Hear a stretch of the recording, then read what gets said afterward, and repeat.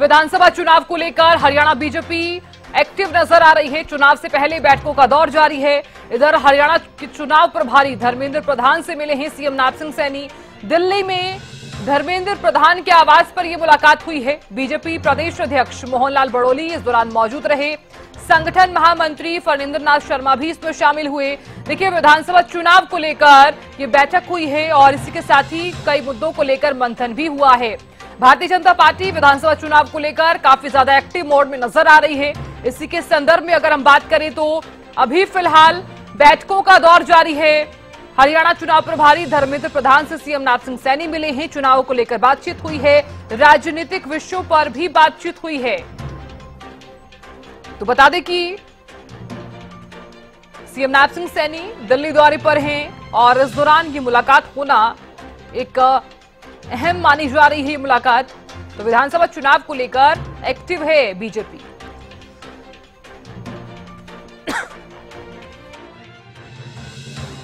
बात करें तो दिल्ली में धर्मेंद्र प्रधान के आवास पर यह मुलाकात हुई है।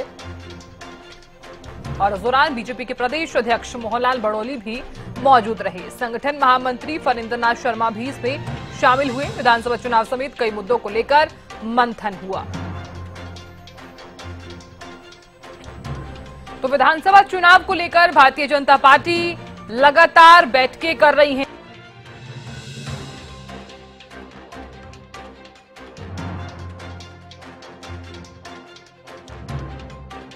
बोर्ड में नज़र आ रही है। देखिए, चुनावी दौरे भी जारी हैं, बैठकें की जा रही हैं, राजनीतिक विषयों को लेकर भी बातचीत की जा रही है। दिल्ली से मेरी सहयोगी अपराजिता श्री जुड़ गई हैं, ज़्यादा जानकारी लिए हुए और नज़र बनाए हुए। अपराजिता, विधानसभा चुनाव को लेकर भारतीय जनता पार्टी लगातार एक्टिव मोड में नज़र आ रही है। अब चुनाव प्रभारी धर्मेंद्र प्रधान से मिले हैं सीएम। इस मुलाकात को किस प्रकार से देखा जाए अपराजिता? बिल्कुल देखिए, आज मुख्यमंत्री हरियाणा के मुख्यमंत्री नायब सिंह सैनी का दिल्ली दौरा है। सबसे पहले उन्होंने आज दिल्ली पहुँचते ही उससे पहले उन्होंने केंद्रीय मंत्री धर्मेंद्र प्रधान से मुलाकात की है। चुनाव प्रभारी धर्मेंद्र प्रधान से उन्होंने मुलाकात की उनके आवास पर।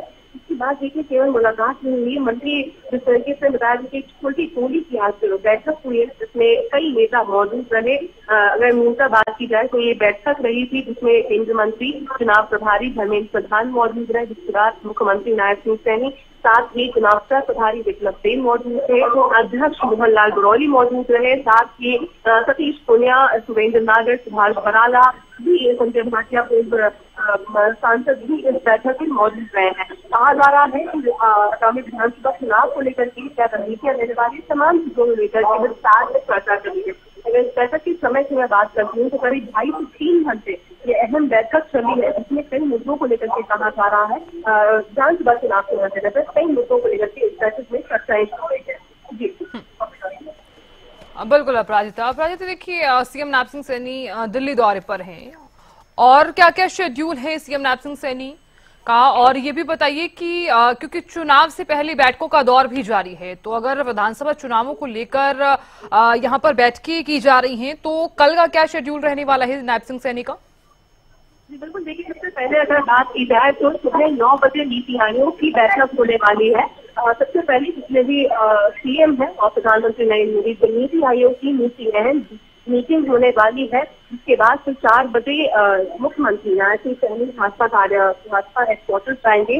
कहा जा रहा है कि बीजेपी की दो दिवसीय अहम बैठक होने वाली है। तमाम सीएमओ के साथ बैठक होने वाली बीजेपी राष्ट्र बीजेपी शासित जितने भी राज्य राज्य है, उनकी बैठक होने वाली है।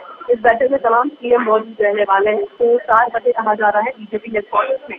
ये अहम बैठक होने वाली है कल की और वहीं अगर हम बात करते हैं अट्ठाईस जुलाई की अगर बात करते हैं तो सुबह नौ बजे ये बैठक होने वाली है। साथ ही एक और अगर अहम बात हो जाती है कि सभी सीएम से तक डिटेल में चर्चाएँ की जाएगी कि किस तरीके से जो केंद्र के जो भी योजना है, क्या कुछ चीज़ें पहुँच पाई है जो स्टेट में पहुँच पाई है, किस तरीके की क्या क्या चीज़ें और है। और साथ ही काफ़ी अहम हो जाता है जिन राज्यों में इलेक्शन होने वाले हैं। खासतौर पर झारखंड की अगर बात करते हैं, हरियाणा प्रदेश की बात करते हैं महाराष्ट्र की बात करते हैं, जम्मू कश्मीर की बात करते हैं, जहाँ पे विधानसभा चुनाव होने वाले हैं। राज्यों को लेकर के खास ठीक है अपराजिता आप नज़र बनाए रखेगा जैसे ही कोई जानकारी सामने आती है कोई अपडेट सामने आती है तुरंत हमसे जानकारी आपसे जानकारी हम ज़रूर लेते रहेंगे। तो देखिए विधानसभा चुनाव को लेकर भारतीय जनता पार्टी एक्टिव नज़र आ रही है और इसी संदर्भ में दिल्ली में धर्मेंद्र प्रधान के आवास पर यह मुलाकात हुई।